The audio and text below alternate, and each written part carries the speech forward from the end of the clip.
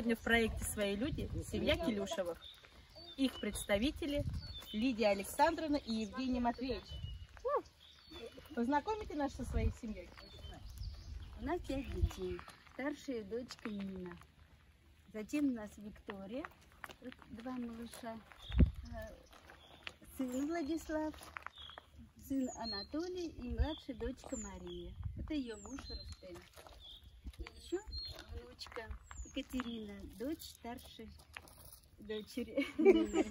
Внучка первая. Да, старшая внучка Екатерина. Самый главный вопрос. Как вы решили стать многодетной семьей? Выросла. Я сама выросла в большой семье.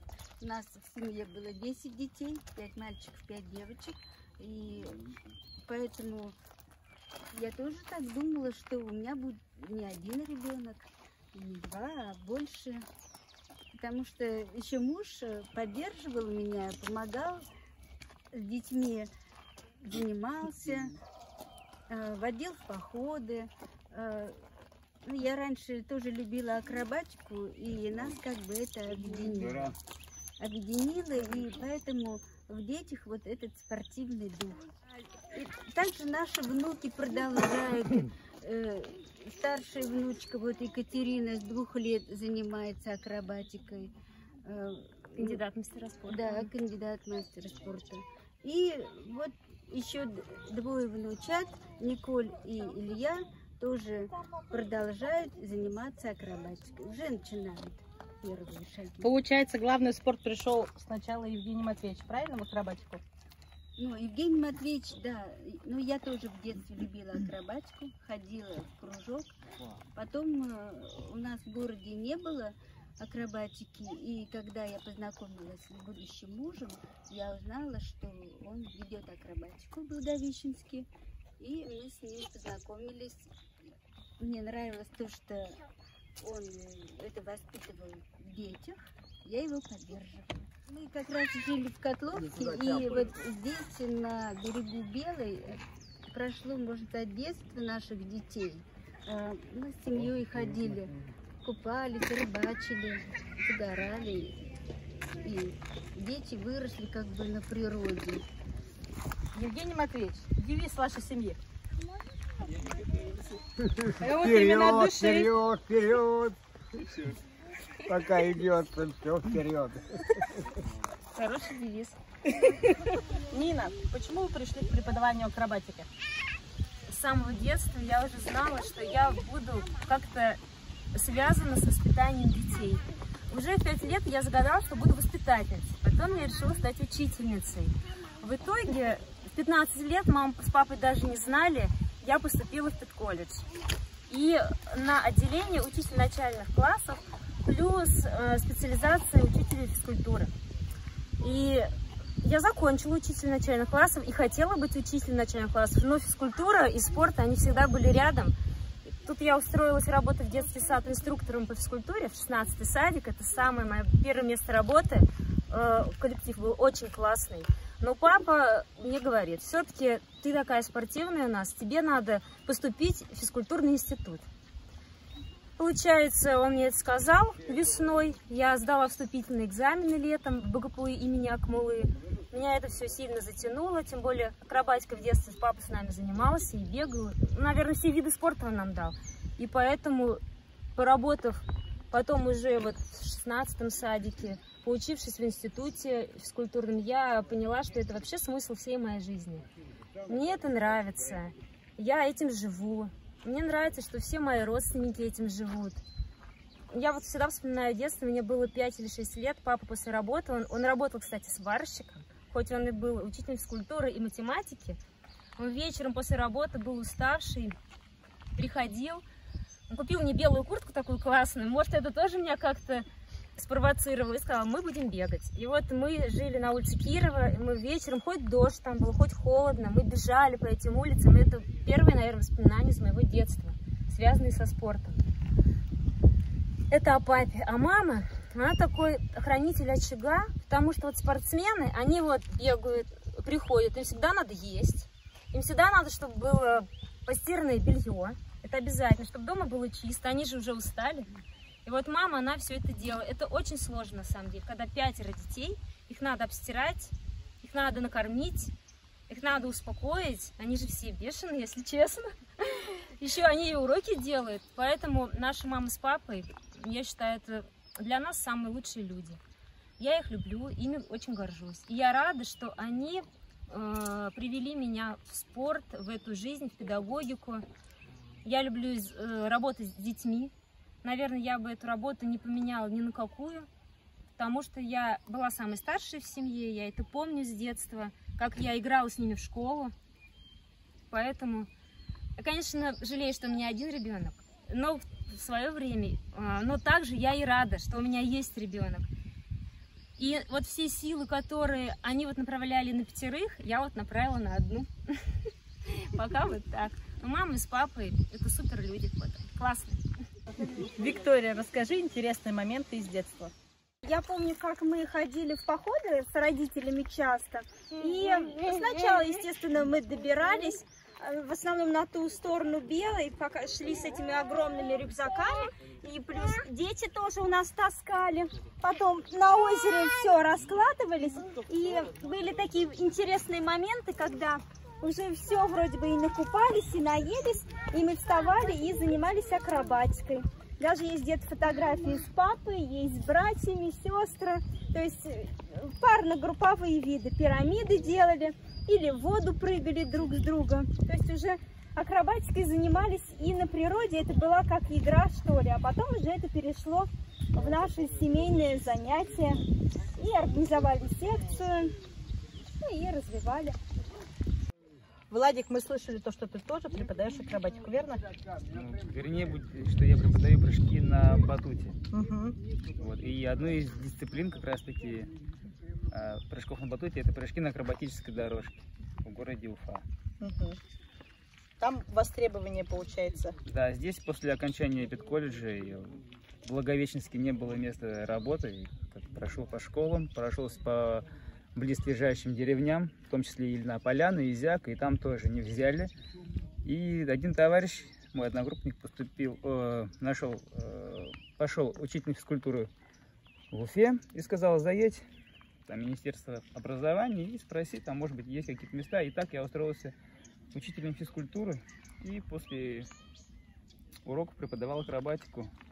Ну, в частности, и прыжки акробатические они тоже э, входили в эту же, в эту же тренировку. После, после того, как э, прошло 5 лет преподавания в, э, в школе, однажды на тренировке, я еще ходил на тренировку, сам занимался, однажды Мгм. на тренировке к нам м, пришли артисты цирка и сказали, хочешь ли ты работать в цирке. Таким образом, я уехал и поработал еще чуть больше года э, в Росгосцирке, да, московской компании. Ну, мы ездили по городам, по всем таким городам, где есть э, стационарные цирки, такие как вот в Уфе. Это все считается Вы там акробатические номера показывали, Да, я получается? там выступал на акробатической дорожке и также выполнял различные поддержки тоже акробатические. И когда уже работал э, в Челябинске, там я получил травму. Ну, думал, что все-таки еще вернусь в цирк. Вот. Ну, Тренер в сказал, давай, нам нужны такие, нам нужны мужчины. Потому что, как правило, если заметили, да, здесь тоже акробатику преподают и прыжки на дорожке тоже женщины, мои сестры. Там в Уфе э, акробатику там только один мужчина преподавал на тот момент. И как раз таки я подумал, что это очень будет актуально, поскольку и мой э, дед, получается, как двоюродный дед, он дядя моего отца, он основатель акробатики в Республике Башкортостан. И я подумал, что это действительно очень важно продолжить свои корни. Тут согласна я с вами. Интересное дело. Жаль, Да. что не везде востребовано пока. Ну, опять же, пока. Нет, это сейчас очень набирает популярность, потому что акробатика это своеобразные трюки. Они включаются как во многих фильмах. Можно всегда заметить, да, если фильм идет там особенно какой-то боевик или фантастика, там много этих трюков. Также это очень актуально для танцоров. Это очень принимают часто эти упражнения футболисты, хоккеисты, те, кто занимается единоборствами. Поскольку акробатика, она является Если легкая атлетика это королева спорта, то акробатика это азбука спорта, тот вид, с чего вообще начинается любой вид спорта. Он развивает координацию, ловкость, ощущение себя в пространстве и развивает самые-самые необходимые навыки.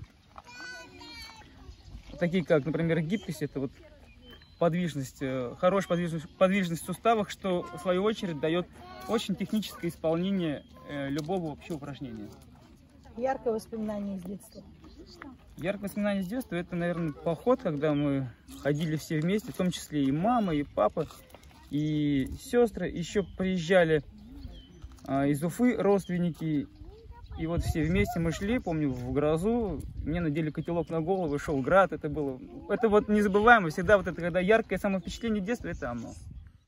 Анатолий, а вы чем больше всего любите заниматься? Я больше люблю заниматься а, с тяжестями, то есть поднимание гантели, штанги, вот гири. О, я тоже раньше вообще начинал заниматься акробатикой, но более на таком, можно сказать, уровне, общий развивающий уровень. Вот меня тоже отец приводил на тренировки. Вот, и я сначала просто смотрел, а потом уже когда у него уходили его ученики, я тоже пытался что-то делать. Вот. Да.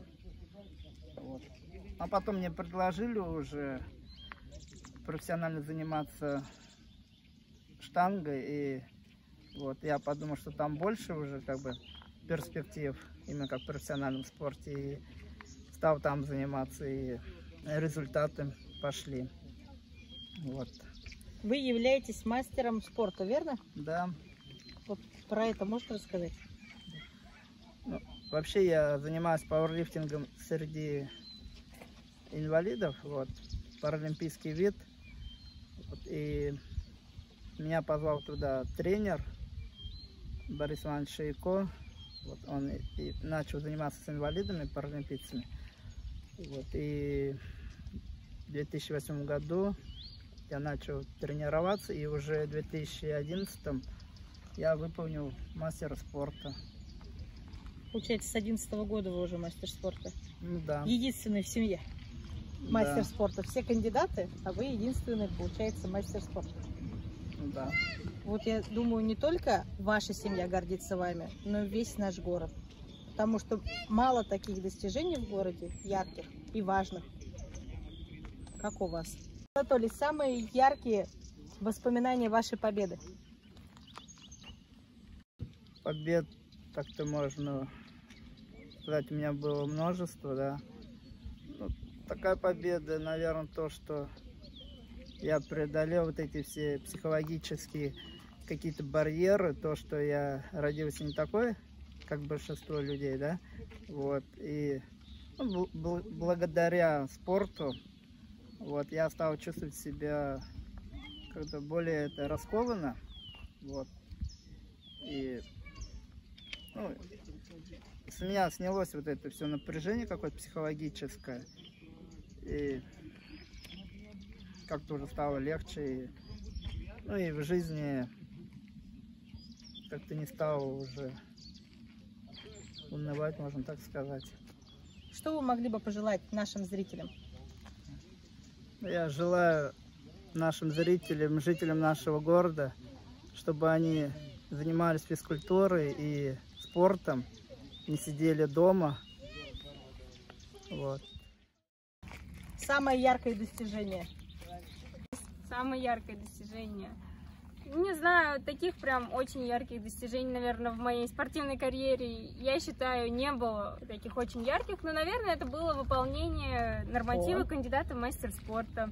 Я впервые выполнила его в восьмом классе, я стояла в тройке, нижней, и мы выступили на соревнованиях, мы, получается, в составе занимались всего где-то 3-4 месяца, ну, где-то 3 месяца, и уже поехали на соревнования свои и выполнили разряд.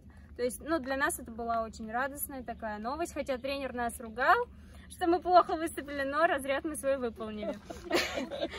Да, я вообще тогда занималась. Как ты познакомилась с мужем?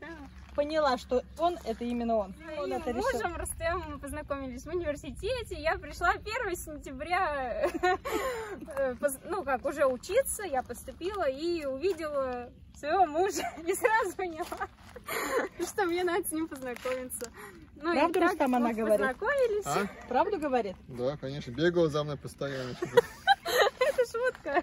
Смотри, это же не выражать, я ты понял, что она это та единственная? Единственное догнала. Ну, общались. Ну, а, получается, познакомились, и я решил просить на свидание. Потом мы уже погуляли по Уфе, там разговорились. Ну, я подумал, что, наверное, надо общаться дальше и друг друга понять лучше, и мы поняли, и уже полюбили, и любовь потом уже нарастала. Сколько вы уже счастливы в браке? Один год почти. Нет еще года, что бред. Почти, я сказала. Почти год. Расскажите о своем деле. А, В прошлом году я участвовала в конкурсе «Начни свое дело» и, получается, представляла проект «Школа акробатики». Это школа для детей маленьких и для а, семейной акробатики, то есть занятий родителей с детьми. Ну, я удачно выступила, защитила этот проект, и у нас в городе уже реализовывается данный проект. То есть у нас есть и акробатика для малышей, и семейная акробатика. Муж тебя в этом поддерживает? Муж меня очень сильно поддерживает, всегда помогает мне во всем. Оборудование особенно носить, потому что оно довольно-таки тяжелое. Главный грузчик. Да. Вип-персона. да. Но он всегда меня поддерживает, и даже когда был этот проект, он пришел за меня болеть. Э, Как бы мы готовились вместе к выступлению, он мне что-то подсказывал и направлял меня, чтобы я не боялась. И, ну, как все, что я хочу показать людям, ну, говорила это, не стеснялась. Рустам, девиз вашей семьи. Наверное, все-таки Вашей семьи. Я думаю, наш семейный девиз это быстрее, выше, сильнее. То, что есть в олимпийском виде спорте, точнее в олимпийском движении. И мы стараемся придерживаться этого олимпийского движения. Мне нравится этот девиз. Ты тоже в спорте? Да, конечно. Ты чем занимаешься? А вообще, я, получается, учился в республиканской школе интернет спортивного профиля 6 лет. Там я занимался единоборством, это бокс был. Но увлекаюсь по большей части еще и техническими видами спорта, такими как мотокросс, автокросс. Мне вот нравятся такие виды спорта тоже. То есть я более такой разносторонний, мне нравится проявление спорта во всех его видах. Ну, а все равно главное спорт. Спорт в вашей семье на первом месте. Конечно, конечно. Это то, что будет двигать, я считаю, общество в будущем обязательно. Девиз семьи Келюшевых. В здоровом теле здоровый дух!